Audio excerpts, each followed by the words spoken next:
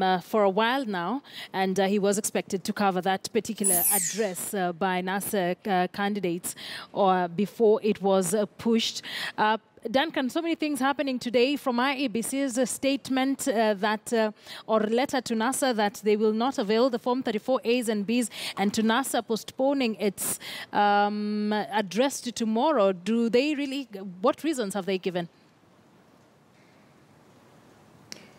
Akisa, no further details have been uh, given save for that brief statement. However, I've uh, uh, talked to a major player within that uh, unit, and of course, they've said that uh, they are handling weighty matters, and therefore they've uh, uh, consulted and agreed that um, they should take time so that by the time they uh, come out and make that uh, decision or that uh, called uh, political big announcement, it will be an announcement that uh, is uh, heavy politically, and therefore they don't want to take chances. Of course, uh, multiple sources say that uh, the summit, there are disagreements. Some are claiming that we have those that uh, want uh, the perhaps the opposition to rescind their decision earlier, that they will never go to court.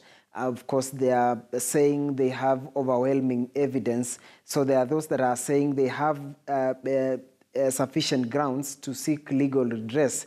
There are those that are saying they already made a commitment to their supporters that they will not be going to court, and that uh, pronouncement uh, was made as late as uh, uh, recently as on Sunday. And therefore, there are a lot, but uh, that is not to say that it has been confirmed by uh, the reliable sources. however, that is what many are saying that it could perhaps inform. Remember that the summit is not only bringing together the five, the Pentagon five, the big five within NASA, that is Isaac Ruto, Moses Wetangula, Musalia Mudavadi, Kalonzo Musyoka, and Raila Odinga. And therefore, there is a lot that is at stake. There is a lot that is on the table that they are, they are yet to agree. Uh, that common ground is what is lacking, and that most probably has informed the decision. However, they've said it will be tomorrow morning hours. So that means that probably they could burn the midnight oil to make sure that they have all what it takes to make that big announcement, uh, Akisa. Khaemba, for the sake of our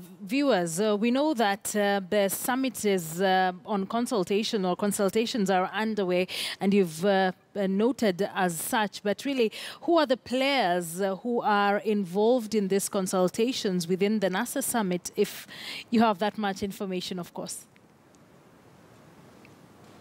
The, the summit was uh, bringing together the political big five. It was bringing together uh, secretary generals from uh, and key party leaders from all the parties. It, it brought together the the economic, uh, the various advisors, political advisors, economic advisors. Therefore, it was a broad-based unit, and therefore that perhaps explains as to why the consultations or the lack of striking, uh, striking a common ground could be the reason uh, because of the big number that uh, forms the NASA summit. And again, there are a lot of uh, developments that are coming out, and maybe that could be the reason as to why uh, the latest developments might have uh, played part in NASA uh, pushing forward that announcement. We've seen a letter uh, from uh, IBC CEO Ezra Chiloba to uh, NASA Deputy Presidential Chief agent. Of course, uh, they requested uh, forms 34As. Of course, the IBC saying they will do so, but at an appropriate time. We've seen uh, some purported uh, uh, letters or form 34As that are exercise books that uh, it's claimed they are on IBC portal, subject confirmation. We've seen the Twitter handle of uh, Third Way Alliance party leader, Dr. Ekuru Aukot,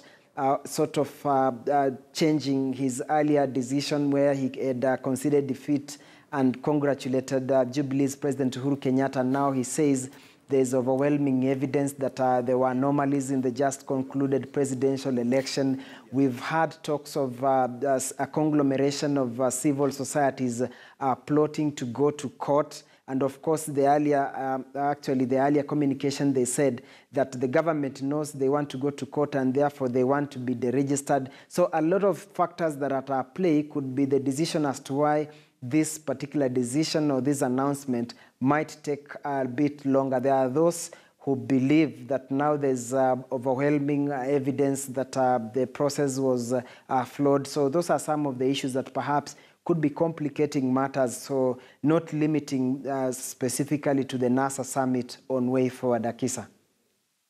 much. We'll see how that pans out, but I believe you continue to follow up um, uh, this uh, development for us. Duncan Khaemba is our senior political reporter. I understand uh, we should be closing any minute now to pave way for our Swahili team, so I'll give each of you a minute to just uh, give your closing remarks with the developments that we've seen.